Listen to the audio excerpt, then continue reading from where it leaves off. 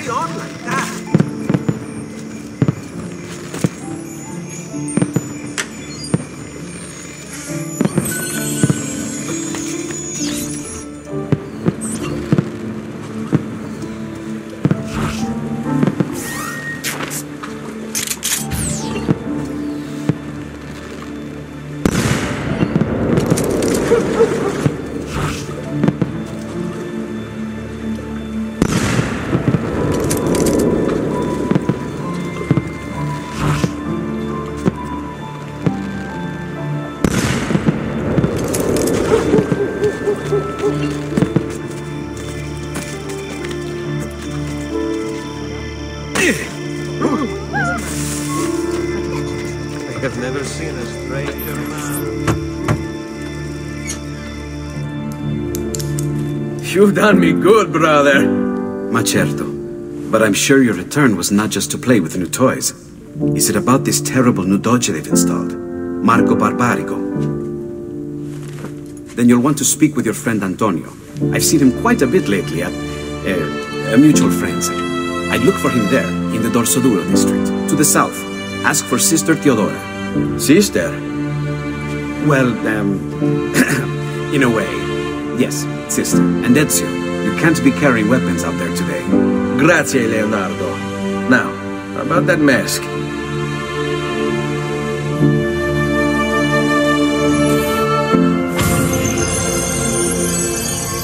Marco Barbarigo. Although his brother Agostino was destined for greatness, Marco left his mark on Venetian history as well. A tyrant since he was barely old enough to walk, whatever Marco wanted, he got. There are records here for jewels, entire fleets of ships, all paid for by his family and all ordered directly from him. And then there's his personal life. Apparently, Marco's wife, Carlotta, used to be married to his bodyguard, Dante Moro. Dante was captain of the city guard and heir to one of the most prestigious families in Venezia. Marco was supposedly his close friend, right? But get this Marco decides he wants Carlotta. In the Catholic religion, marriage is till death do us part, and Marco's a good Catholic. So, he hires a hit on Dante. Dante gets stabbed three times in the body and once in the head. But he doesn't die. He recovers with severe brain damage. Dante becomes like a child. So, what does Marco do? Well, he hires Dante as his personal bodyguard, and he gets him to sign a confession annulling the marriage. Marco takes Carlotta and keeps Dante as his personal slave. What a lovely fella.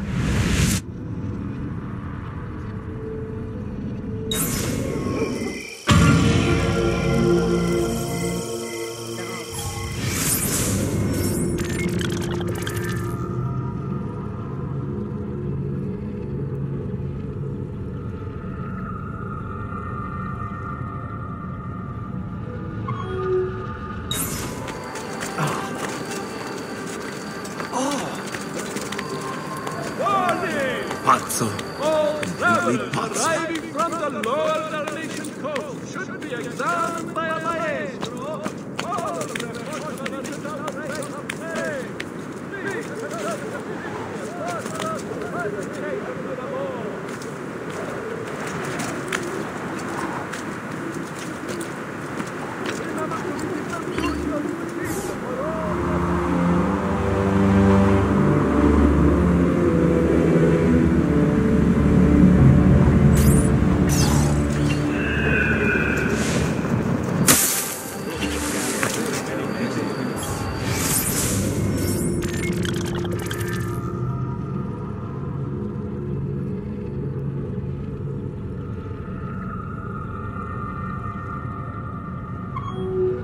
Never mind. I don't want to know.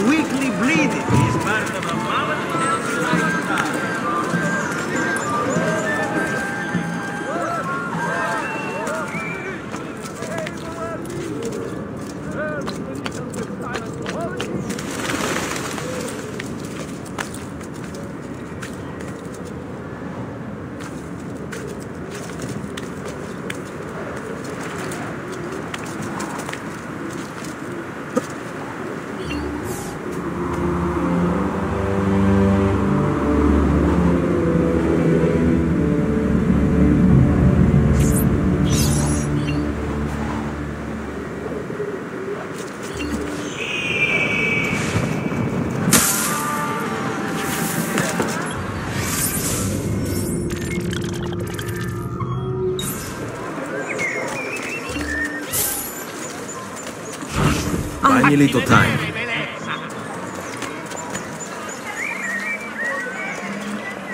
Baute, manette, colombine! Ehi, quanto a voi per una scelta! Oh, per la miseria che fosse! Maschere della festa per Non mi tutti! sognare, tesoro!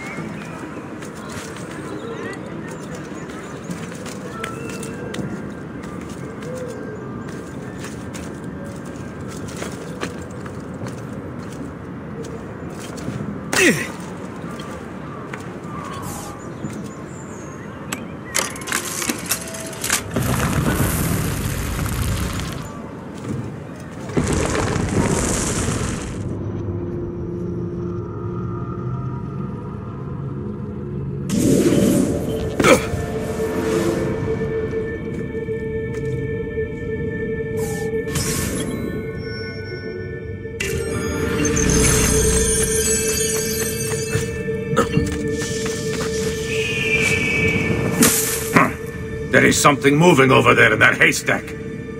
Sit back down. We're in the middle of playing a tarot game. Oh, no, this time I saw something. I know it. That's what you say every time. Ah! You were right. There was something in the haystack, you feminucha. I'm tired of your jokes. This isn't funny. I could have been killed. By rats. You don't take our work seriously.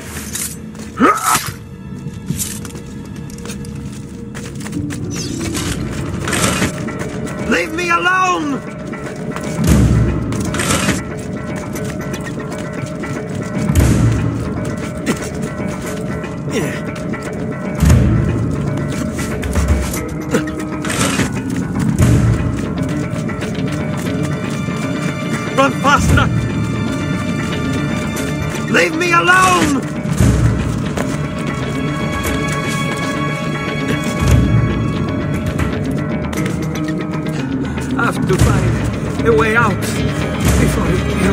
Kills me.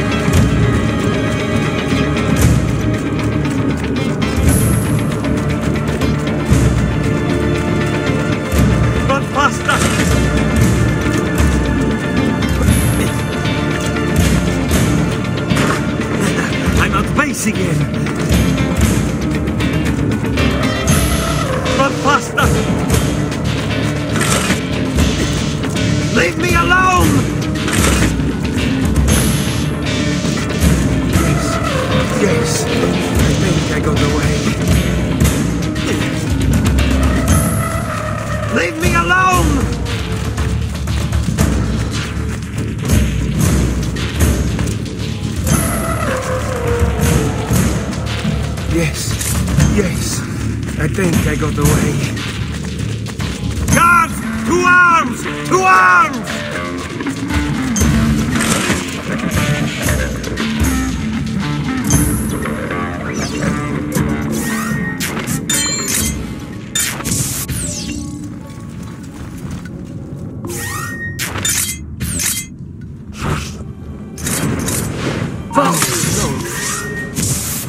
Randa Castillo!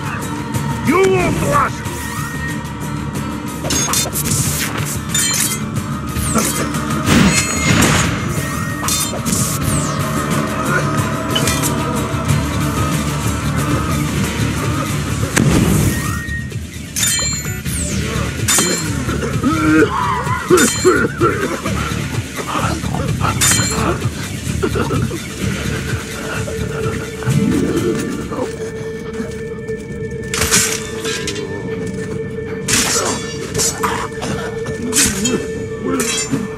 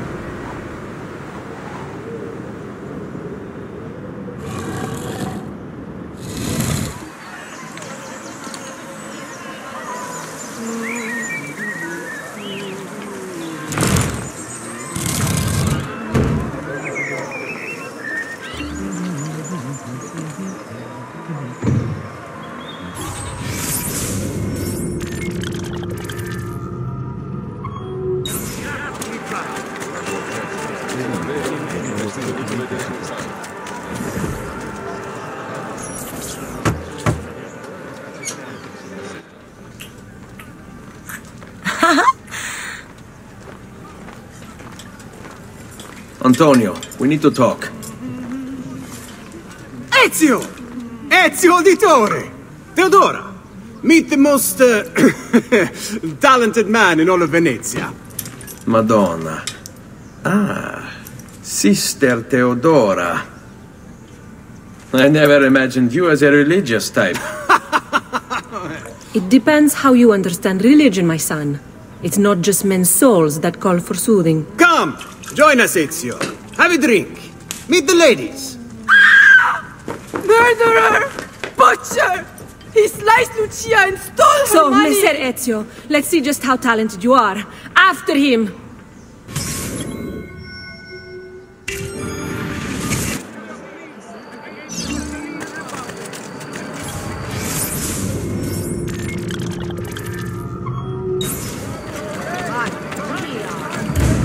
Don't come any closer, or I will carve up a... another one.